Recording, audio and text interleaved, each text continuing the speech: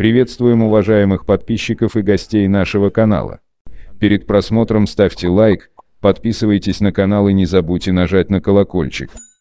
Фамилия, имя, отчество. Баратель Лаш, Дата рождения. 11.07.89. Являетесь гражданином Грузии? Да. На территории Российской Федерации находитесь.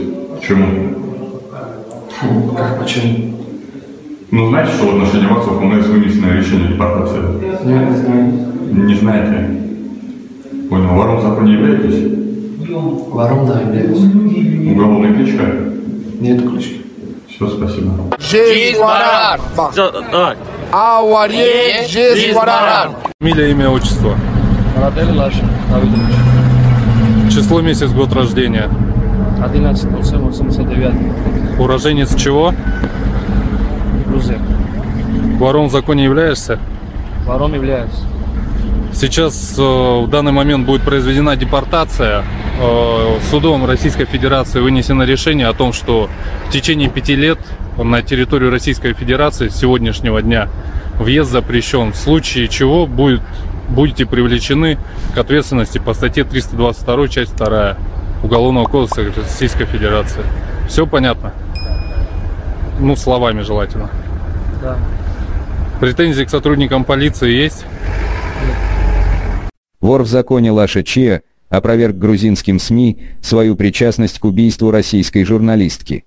Как стало известно Prime Crime, 32-летний грузинский вор в законе Лаша Баратели, более известный в криминальных кругах как Чия, снова засветился на неподобающем человеку его ранга общении с прессой.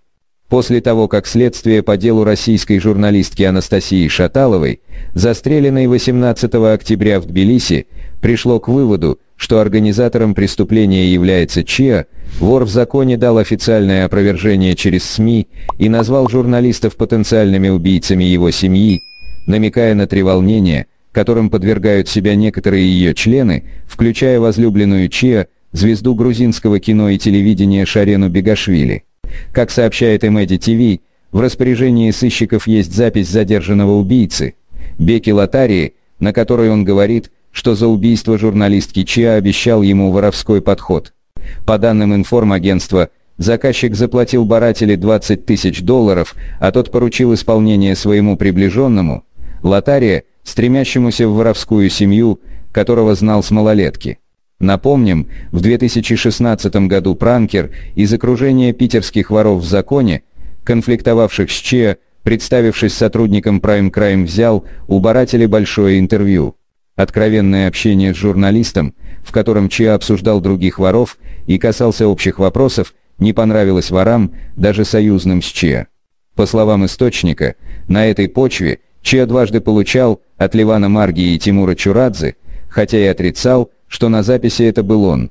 МВД Грузии сообщила о задержании троих подозреваемых в убийстве россиянки. 18 октября неизвестный мужчина в упор выстрелил в 30-летнюю Шаталову семь раз и скрылся. Ранее Россия запросила у Грузии информацию по делу об убитой в Тбилиси россиянке. Москва направила ноту МИД Грузии в связи с убийством гражданки России в Тбилиси. Россия обратилась к Министерству иностранных дел Грузии с просьбой оказать правовое содействие в связи с убийством россиянки Анастасии Шаталовой в Тбилиси. Об этом сообщили в пресс-службе секции интересов России при посольстве в Швейцарии и Тбилиси. По информации ведомства, Москва попросила предоставить всю имеющуюся информацию о преступлении, а также как можно скорее передать тело погибшей ее отцу. Министерство внутренних дел Грузии сообщило о задержании троих подозреваемых в убийстве девушки. В ходе обысков у обвиняемых обнаружили большое количество наркотиков, двое из них при задержании попытались оказать сопротивление правоохранителям. Один мужчина попытался взорвать гранату. 18 октября стало известно, что неизвестный мужчина в упор выстрелил в 30-летнюю россиянку семь раз и скрылся с места преступления. Очевидцы отметили, что убийство произошло около часа ночи возле дома, где убитая снимала квартиру. МВД Грузии возбудило уголовное дело по статье Уголовного кодекса об умышленном убийстве. Давайте коротко пройдемся по биографии вора в законе Лаши Баратели, более известного в криминальных кругах как Че, он же Лаша Червь. Экзекуция над вором в законе. В декабре месяце 2014 года в Красносельском районе Санкт-Петербурга напали на известного сухумского вора в законе Лашу Баратели по кличке Чия, по-грузински «Червяк».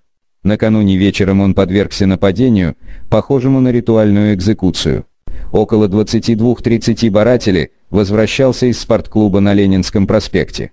Отпустив свою охрану, вор вошел в подъезд своего дома.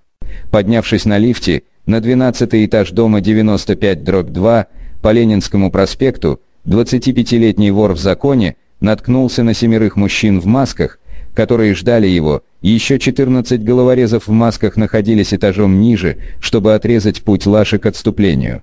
Вора стали избивать по очереди все нападавшие. В завершении ему до неузнаваемости изрезали ножом лицо, а также, по сведениям, ударили несколько раз ножом в пах. Раненый госпитализирован в городскую больницу номер 15.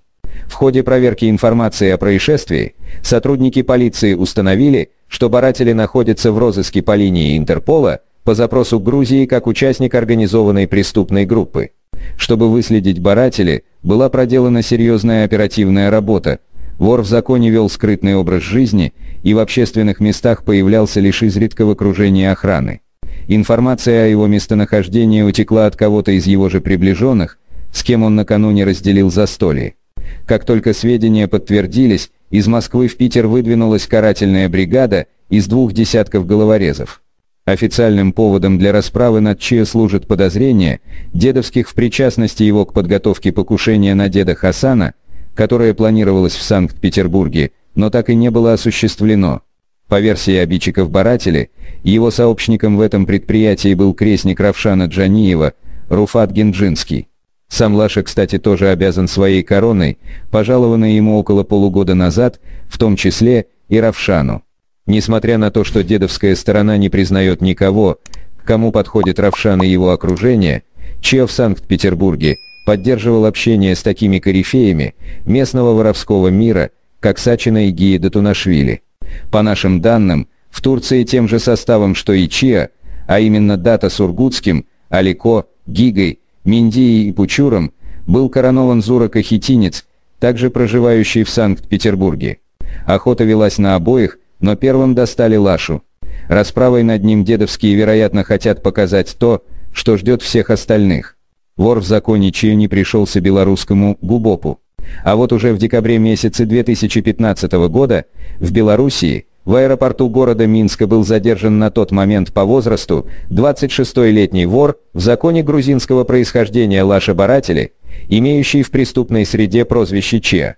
Молодой вор в законе отсюда должен был через несколько часов лететь дальше, уже в Турцию, где его появление ждали несколько грузинских криминальных авторитетов но сотрудники белорусского отдела по борьбе с организованной преступностью не позволили осуществить криминальному лидеру свои планы.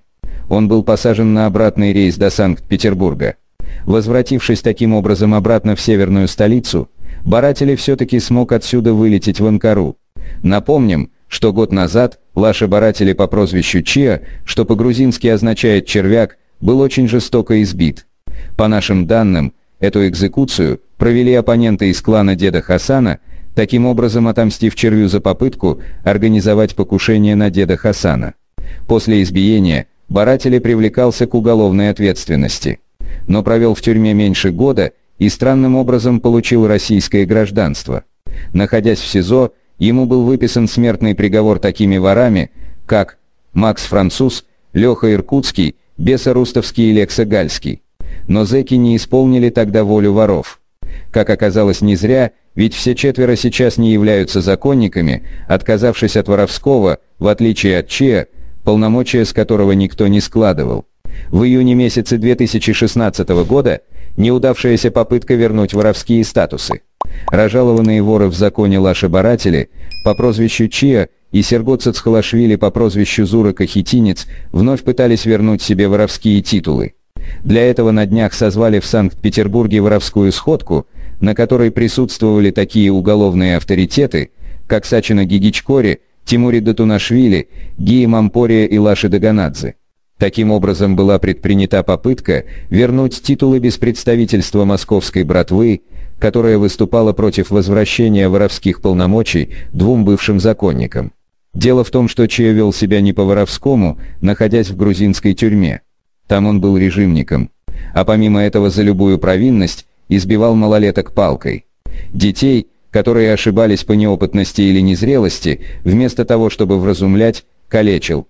Естественно, что команда Шакра Молодого не могла допустить такого человека обладать высшим криминальным статусом.